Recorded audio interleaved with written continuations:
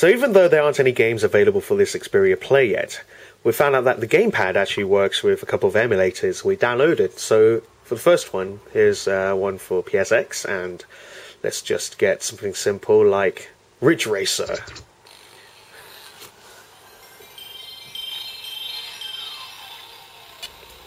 The buttons do feel good here. Oh, hang on. Right.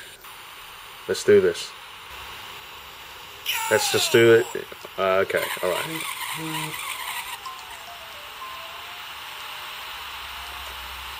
So the experience is not bad, although it's not 100% smooth.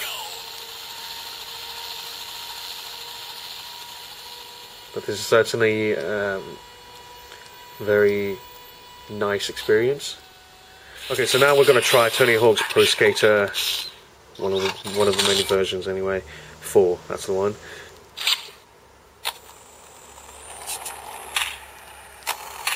Yep, we totally suck at this game. It does bring back memories though. Yes, 360. Okay, now we're going to try Gundam Battle Assault 2. Alright, thanks. Uh, just do versus CPU.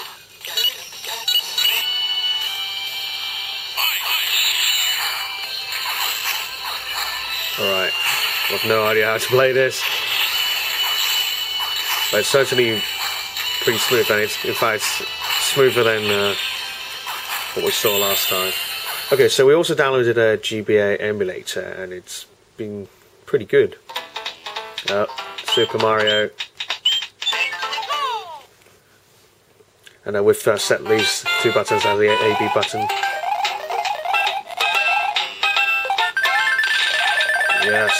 Oh. Ah. Whoa.